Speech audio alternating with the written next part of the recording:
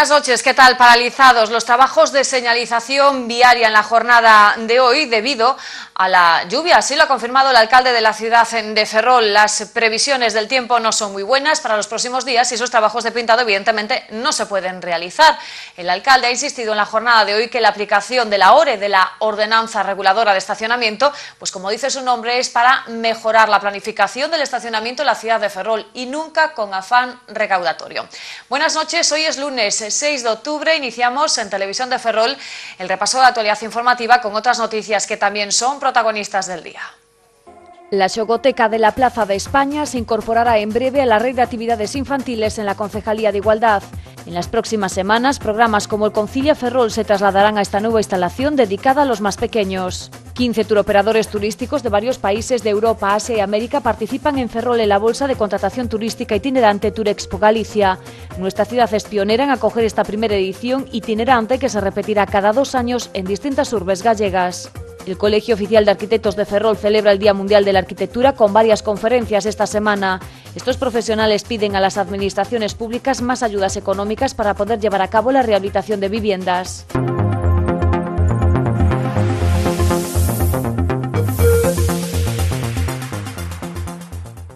Paralizados por culpa de la lluvia, los trabajos de pintado de la nueva señalización viaria en el centro de la ciudad de Ferrol, así lo confirmó el alcalde de la ciudad esta misma mañana. Las condiciones climatológicas evidentemente influyen en estos trabajos y se van a suspender hasta que cesen las lluvias que se prevén durante todos estos días, por lo menos hasta el viernes. El alcalde de la ciudad ha dicho y reiterado en la jornada de hoy que la aplicación de la ORE, de la Ordenanza Reguladora de Estacionamiento, que se aplicará una vez estén concluidos todos esos trabajos no se aplica con afán, afán recaudatorio ni mucho menos. Rivarela asegura que es, como dice su nombre, una ordenanza que tiene como objetivo organizar y planificar el estacionamiento en la ciudad de Ferrol. La lluvia ha impedido en la jornada de hoy desarrollar los trabajos de pintado de la nueva señalización viaria. Las condiciones climatológicas van a condicionar sin duda esta tarea que podría quedar aplazada durante estos días debido a la previsión de lluvia. El alcalde de Ferrol, José Manuel Rivarela, ha solicitado a la empresa adjudicataria de estos trabajos que retire las vallas para que se pueda estacionar. Es evidente que eh, la previsión meteorológica no siempre acierta, pero ya han sido retiradas, supongo, todas las vallas, que es algo que le hemos eh, pedido a la empresa, que en el caso de que cambien las condiciones climatológicas y se vean afectadas, las vallas tienen que estar retiradas antes de las 10 de la mañana. Rey Varela ha exigido además a la empresa una nueva programación en las tareas de pintado y que éstas se extiendan por toda la ciudad en vez de concentrarse única y exclusivamente en el centro, como sucedió durante la semana pasada y que provocó las quejas de los conductores y vecinos por la falta de información, pero sobre todo por las numerosas calles cortadas al tráfico. Por delante queda todavía bastante tiempo, ya que además del pintado, el Concello de Ferrol tiene que contratar el multamóvil, que vigilará que los conductores cumplan con los tiempos fijados en la zona express y en la zona azul. Con respecto a la implantación de la ORE, la ordenanza que regulará el estacionamiento, el regidor no se atreve a dar plazos, aunque quiere dejar claro que en ningún momento se cobrará en Ferrol por aparcar. El control del aparcamiento en el centro eh, sigue siendo público y gratuito y a mí me gustaría eh, destacarlo para evitar la confusión que se está extendiendo entre los ciudadanos pensando que aquí vamos a hacer lo que se ha hecho en otras ciudades, que es cobrar por aparcar. En Ferrol, yo ya lo he dicho desde un primer momento, no se va a cobrar por aparcar, simplemente se va a ordenar.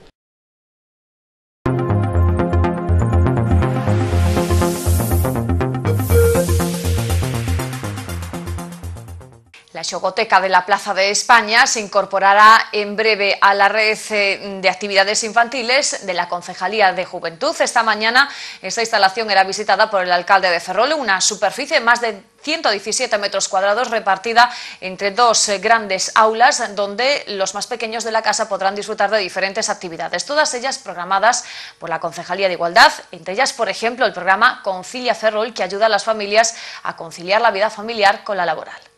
Cuenta atrás para la apertura de la Xogoteca de la Plaza de España. Es una de las dos instalaciones ubicadas en esta superficie, destinada a los más pequeños de la casa. El alcalde de Ferrol, José Manuel Rivarela, supervisó hoy la finalización de estos trabajos de acondicionamiento, en los que la Administración local invirtió 170.000 euros, trabajos que se llevaron a cabo en el plazo de tres meses. Nuestro compromiso en este entorno era ampliar la zona de juegos que tenemos eh, precisamente a nuestras espaldas eh, en la Plaza de España y al mismo tiempo tener un lugar cubierto, un lugar de complemento eh, de, ese, de, esa zona de juegos, eh, de juegos infantiles para que obviamente muchos más niños y niñas, muchos más ferrolanos puedan disfrutar de este entorno este local cuenta con una superficie de algo más de 117 metros cuadrados, distribuidos en dos aulas, una oficina y un aseo. Las obras llevadas a cabo permitieron también la modificación del acceso y la instalación de una rampa. Es que este edificio no tenía nada, ni suelo, lo que tenía era agua. Era como un pequeño depósito, porque para entrar había que bajar y creo que, que las obras están bien ejecutadas, ¿no?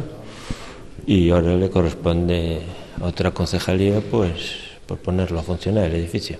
En otro orden de asuntos, el edil de urbanismo confirmó que el gobierno local espera contar en breve con la Dirección de Seguridad y Salud de las obras de la Cuesta de Mella para poder iniciar cuanto antes los trabajos en esta zona, que comenzarán en los jardines de Herrera. El Grupo Municipal del PSOE insta al alcalde de Ferrola, José Manuel Rey Varela, que solucione de inmediato los trámites pendientes para la finalización de la concentración parcelaria. Recuerdan los vecinos que llevan más de tres décadas afectados por esta agrupación de sus terrenos. El Grupo Municipal Socialista denuncia los incumplimientos del alcalde de Ferrol con los afectados de las expropiaciones por el vial del puerto exterior y de la parcelaria. Desde el PSOE recuerdan que en el pleno del pasado mes de marzo y a preguntas de este grupo municipal, el regidor se comprometía a finalizar el proceso de la parcelaria antes de este verano. Esto permitiría a los afectados el cobro de las indemnizaciones derivadas de la expropiación de terrenos para la construcción del vial al puerto exterior. Pero no ha sido así. Según los afectados, en agosto el alcalde de Ferrol les manifestaba que en ese mismo mes el Concello acabaría la solicitud de masas comunes, último trámite para poder emitir los decretos de los terrenos y ponerlos a disposición de sus legítimos propietarios para que las personas afectadas por las expropiaciones del vial al puerto exterior pudieran recibir las indemnizaciones. Pero este trámite parece que todavía no ha concluido. El Grupo Municipal del BNG de Ferrol realiza también su balance de los presupuestos generales del Estado para el próximo año 2015. Los nacionalistas lamentan que no se contemple partida alguna ni para la sexta fragata ni para el BAN del buque de acción marítima. Además, esta formación denuncia también la falta de apuesta del Gobierno central por el sector naval público y por las infraestructuras ferroviarias. Cero euros para la sexta fragata, también sin partida alguna para iniciar la construcción del BAM. Para los nacionalistas son dos claras demostraciones de la falta de apuesta del Gobierno central por el sector naval público en los presupuestos generales del Estado para el 2015. Esta formación denuncia también el fraude de la política de reindustrialización llevada a cabo estos últimos años. El portavoz del BNG, Iván Rivas, recuerda que el 2014, de los 45,7 millones de euros de las ayudas a la reindustrialización, solo se concedieron 8 millones de euros. Un programa que existe desde hace 30 años e que eh, esta cidade, se non está reindustrializada e eh, reconvertida, é porque eh, o que está a demostrar é que esta política é un, é un fraude. Rivas también denuncia la falta de inversión por parte del Estado para la puesta en marcha de la estación depuradora, los accesos al puerto exterior y la potenciación del eixo atlántico. Desaparece calquer tipo de, de dotación ou de investimento relativo ao mantemento e a posta en servizo da propia rede de saneamento e da estación depuradora. Aparece a, a partida de depuración e vertido de ferrol, pero non ten ningún tipo de consignación eh, orzamentaria. Isto que quere decir é que, eh, como xa sabíamos, e vamos a ter que ser os veciños, eh, veciñas desta cidade os que teñamos que asumir o coste 15 turoperadores turísticos de Europa, Asia y también de América se reúnen estos días en Ferrol participando en reuniones de, trabajo con, y de negocio también con eh, mayoristas turísticos de Galicia, con el objetivo desde nuestra comunidad autónoma de vender las diferentes potencialidades turísticas de nuestra comunidad autónoma. El encuentro se celebra en Ferrol durante dos días y los turoperadores turísticos se van a llevar una buena impresión de nuestra ciudad con reclamos turísticos tan importantes como nuestra Semana Santa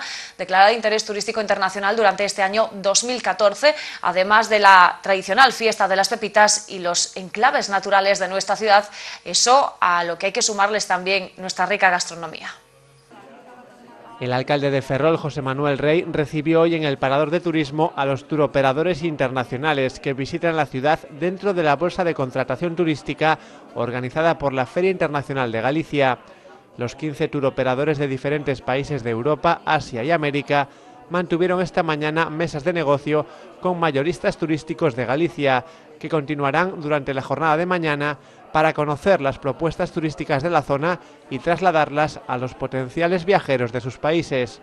Nuestro agradecimiento pues, eh, a los tour operadores que han venido, que son personas especialmente seleccionadas por la Fundación Semana Verde con interés en, Galicia.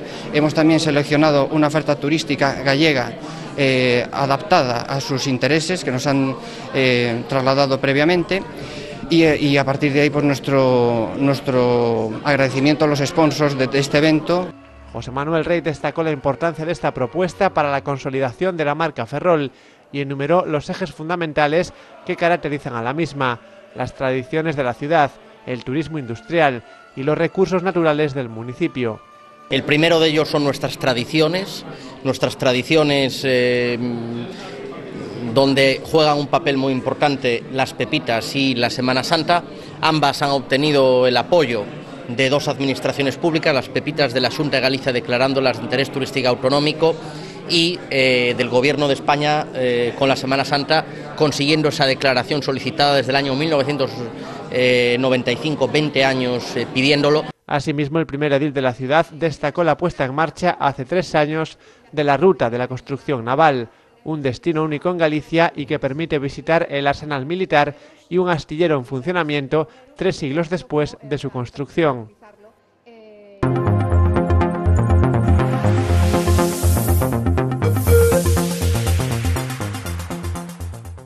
Desde Cáritas no solamente ayudan a las familias, sino también a los eh, niños más pequeños, a los que tienen dificultades eh, en, en, diferentes asignaturas. A través del programa Creciendo en Familia se dedica uno de esos muchos departamentos que tiene a ayudar a los más pequeños, con la puesta en marcha por parte de voluntarios, gracias a ellos, de clases particulares en varias parroquias de nuestra ciudad. Las caritas parroquiales de Nuestra Señora del Pilar del Ensanche y Santa María de Caranza acogen desde hoy las clases de apoyo al estudio para niños de educación primaria y secundaria según los criterios del programa de Caritas Diocesana Creciendo en Familia, en el que participan como voluntarios 10 profesores y 20 alumnos. Familias con problemas pues, económicos o, sociales. Entonces, el programa engloba eh, pues ese programa de educación familiar y un programa de apoyo uh, escolar para niños con dificultades. Eh, niños normales, como puede ser cualquier otra familia, pero niños que a lo mejor no tienen los padres medios económicos para pagarse pues, las clases. Con los objetivos de promover en los alumnos hábitos de estudio y capacidad de atención y concentración, adquirir habilidades en expresión y comprensión lectora y consolidar los conocimientos de una asignatura, se ha puesto en marcha en Cáritas dentro del programa Creciendo en Familia, que con la participación de al menos 10 profesores en calidad de voluntarios acompañará y apoyará a niños que cursen estudios en primaria y secundaria. Estamos trabajando en tres parroquias diferentes, es en Caranza, en San Pedro y en El Pilar. Entonces, pues tenemos eh, un horario, bueno, varios días a la semana en cada, en, cada, en cada parroquia, allí hay unas salas de formación y los voluntarios acuden allí y los niños también van a, van a clases allí, es en, en las tres parroquias. Las materias a reforzar serán asignaturas de primaria y de secundaria como lengua, matemáticas, historia, conocimiento del medio e inglés. También se apoyará el desarrollo de habilidades transversales como la comprensión de la lectura y la expresión. Segunda concentración mañana el interior de la factoría de Navantia Ferrol de la plantilla para denunciar la falta de carga de trabajo, pero también para protestar por esa eh, decisión de la dirección de Navantia de trasladar la construcción de ocho bloques de los 86 del flotel para PEMES que se está construyendo en los astilleros de la Ría de Ferrol al astillero de Puerto Real. El comité de empresa pide además concreción sobre el inicio de construcción del van del buque de acción marítima. Mañana de nuevo la plantilla de Navantia volverá a concentrarse en el interior de la factoría. La segunda acción que desarrolla el comité tras conocer la decisión de la dirección de la empresa pública de trasladar la construcción de ocho bloques del flotel de Pemes al astillero de Puerto Real. En asamblea, la plantilla ha fijado un calendario de movilizaciones que continuará el jueves con una manifestación a la que se sumarán otras dos concentraciones más en el interior del astillero los martes 14 y 21 de este mes y otra salida a la calle el jueves 23. Mientras tanto, desde la dirección de la SEPI restan importancia a este traslado de carga de trabajo. El presidente de la Sociedad Estatal de Participaciones Industriales, Ramón Aguirre, afirmó que solo supone 25.000 horas de trabajo sobre un total de 1.100.000 horas para la producción del buque y la facturación será de 1.100.000 euros, lo que representa solo un 0,7% de la facturación total del contrato. Insistió además en la necesidad de optimizar el uso de los recursos propios de la compañía en todos sus centros sin actividad en este momento proyecciones sobre la capilla de Dolores en plena plaza de Amboaje, celebran los arquitectos de nuestra ciudad el Día Mundial de la Arquitectura. Una semana llena de actividades, de conferencias y también de exposición de documentales, pero también una semana para reivindicar desde, estos, eh, desde este colectivo, estos profesionales, para que las administraciones públicas concedan más ayudas a los propietarios de viviendas y llevar a cabo así un importante trabajo de rehabilitación, sobre todo, por ejemplo, en los cascos históricos. Estos primeros tres días de la semana serán muy intensos para la delegación en Ferrol del Colegio de Arquitectos de Galicia, que preside Ramón Montero. Hasta el miércoles se llevarán a cabo charlas y proyecciones en la Plaza de Amboaje, que tratarán sobre la recuperación de espacios públicos importantes para los ciudadanos. El lema escogido este año es Ciudades saludables, ciudades felices, destacando la importancia de los arquitectos en la vitalidad de los asentamientos humanos y en el bienestar de sus habitantes. Asimismo, se dará protagonismo a diferentes asociaciones de Ferrol. La Asociación de Vecinos de Caranza, hablando de, todo el sistema de huertas urbanas que han, montado en, la zona, y posteriormente serán una, serie de documentales que van relacionados con el tema pues desde una rehabilitación que se ha hecho en el río Fez, en, la propia ciudad de Medina de Fez, eh, el parque del High Line de Nueva York, que fue una reconversión de unas vías férreas. El objetivo de las actividades es mostrar cómo los arquitectos pueden diseñar y construir espacios, instalaciones, viviendas y paisajes urbanos saludables que fomenten la felicidad, la salud y la calidad de vida de los ciudadanos. El martes eh, intervendrá como, el mercado de Caranza, las intervenciones que hubo de, así de movilización en el mercado de Caranza y posteriormente también un ciclo de conferencias y el, miércoles a la misma hora eh, una conferencia que es de intervenciones digitales para la recuperación de espacios urbanos. Todo terminará con proyecciones que pretenden que los ferrolanos cambien el concepto que tienen sobre su ciudad.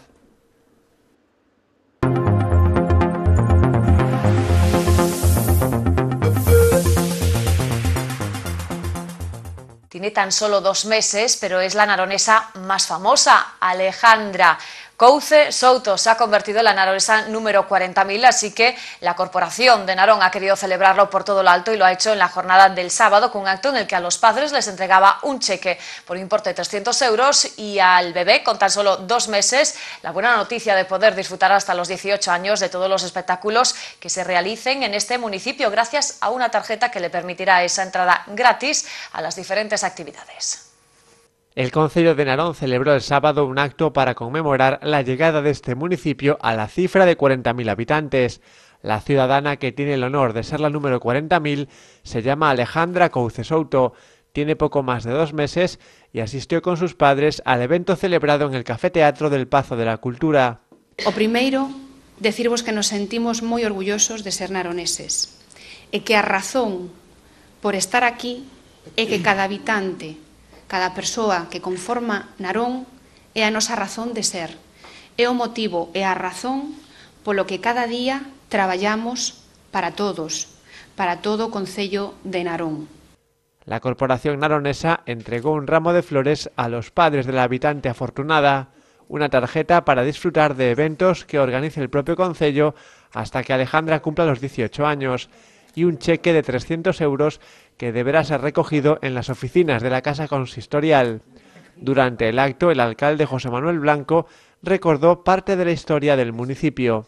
Logramos ser capaces de que tendo solo industrial empresas viñeron para aquí, isto foi o primer paso, porque é fundamental, se non hai traballo, se non hai alternativa laboral, a xente marcha, emigra, como estamos vendo, por desgracia, en estes momentos, e iso foi un primer rol, pero despois tamén conseguimos algo importante, e é que Narón tuvera os servicios básicos fundamentales e pouco a pouco ir mellorando esos servicios que animaran a xente a vir. Blanco recordó la importancia de que Narón cuente con servicios fundamentales para vivir, como escuelas infantiles, parques, plazas o colegios de calidad, para seguir creciendo en población. Cuenta atrás para la apertura de la guardería municipal de San Sadurniño. Si hace tan solo un mes la administración local aprobaba una ordenanza reguladora con las tasas a pagar por parte de las familias que lleven a los pequeños a esta instalación educativa. Ahora la cuenta atrás comienza para las empresas que estén interesadas en hacerse con la gestión de este centro infantil. Hasta el próximo día 14 tienen de plazo para presentar sus ofertas. El Concello de San Sadurniño saca concurso con carácter urgente la gestión de la escuela infantil municipal. Las empresas interesadas pueden presentar sus ofertas hasta el próximo día 14. A pesar de su gestión privada, la escuela con capacidad para 38 niños seguirá siendo de titularidad pública. Hace un mes que la Administración local aprobaba una ordenanza reguladora de las tasas que deberán pagar las familias cuyos hijos acudan a este centro que también dispone de comedor. La ordenanza recoge varias tarifas en función de los servicios que demande la familia, como los 197 euros por una mensualidad, la jornada completa de 8 horas o el precio de 85 euros mes por el servicio de comedor. La empresa adjudicataria será la que cobre directamente el servicio de acuerdo con el precio que proponga, mientras que el Concello se ocupará de la suministración energética, la limpieza y el mantenimiento de las instalaciones. Además, al ser un centro de titularidad pública, los servicios municipales también vigilarán que el contrato se cumpla con la máxima calidad y colaborará con la empresa gestora para incorporar mejoras o solucionar problemas que puedan ir apareciendo. Gracias a una subvención concedida por la Consellería de Trabajo y Bienestar Social, el Concello de Neda ha podido contratar a dos operarias para limpieza viaria, espacios públicos y parques y jardines. Gracias a esta subvención, estas dos mujeres tienen un contrato durante los próximos siete meses. El Concello de Neda acaba de incorporar dos nuevas operarias a la Concellería de Servicios y Obras, una contratación que ha sido posible gracias a la subvención concedida por la Consellería de Trabajo y Bienestar de la Junta de Galicia. Así prestarán los servicios por espacio de siete meses en jornada a tiempo parcial y entre sus funciones estará la limpieza viaria de parques y espacios públicos y más limpieza para la prevención de incendios forestales. Entre los requisitos para acceder a los puestos estaba el necesario empadronamiento en este municipio y ser preceptores del RISGA con una antigüedad de seis meses. El INEM se encargó de seleccionar los aspirantes y remitir los currículums al Concello para su valoración y selección final. Un jurado popular juzgará en la Audiencia Provincial de A Coruña al acusado por el atropello mortal de Cedeira que tenía lugar en agosto del año 2012. Es la última sentencia, la resolución dada por el Tribunal Supremo. El constructor Massimino Caruncho, acusado de atropellar intencionadamente a un vecino de Cedeira que perdía la vida como resultado del impacto en agosto del 2012, será juzgado por un jurado popular. Su defensa, asumida por el abogado Manuel Arias, presentaba hace meses un recurso de casación al Tribunal Supremo con el fin de lograr un tribunal de jurado. El Supremo anula el auto de la audiencia que desestimó la declinación de jurisdicción y vulneración de derecho fundamental a un juicio con todas las garantías y ordena la reposición de las actuaciones al momento procesal anterior para la continuación de las mismas por los trámites previstos a partir de ese momento por la Ley Orgánica 5 barra de 1995 con la celebración de un juicio ante el Tribunal del Jurado y su posterior dictado de la sentencia. La Fiscalía y la acusación particular piden para Maximino Caruncho entre 20 y 21 años por un presunto delito de homicidio y de obstrucción a la justicia.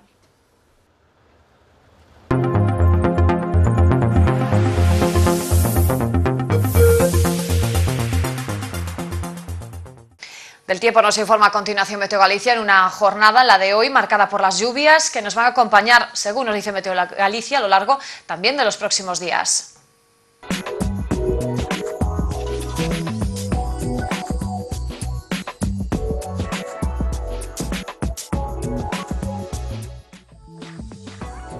Cielos nublados en toda Galicia con lluvias que caerán de forma intermitente. Las temperaturas mínimas ascenderán de forma ligera, mientras que las máximas no experimentarán cambios significativos. El viento soplará moderado del suroeste. Chubascos en Ferrol durante todo el día, aunque con alguna aparición del sol. Temperaturas entre los 14 y los 20 grados y vientos flojos del suroeste.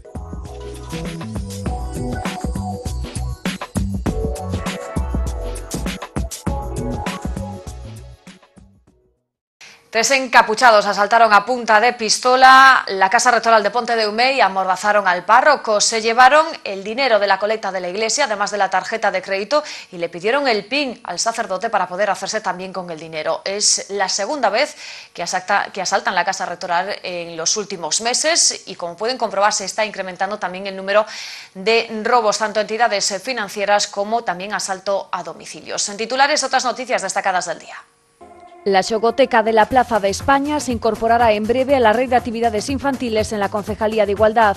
En las próximas semanas, programas como el Concilia Ferrol se trasladarán a esta nueva instalación dedicada a los más pequeños. 15 turoperadores turísticos de varios países de Europa, Asia y América participan en Ferrol en la Bolsa de Contratación Turística Itinerante Turexpo Galicia. Nuestra ciudad es pionera en acoger esta primera edición itinerante que se repetirá cada dos años en distintas urbes gallegas. El Colegio Oficial de Arquitectos de Ferrol celebra el Día Mundial de la Arquitectura con varias conferencias esta semana. Estos profesionales piden a las administraciones públicas más ayudas económicas para poder llevar a cabo la rehabilitación de viviendas.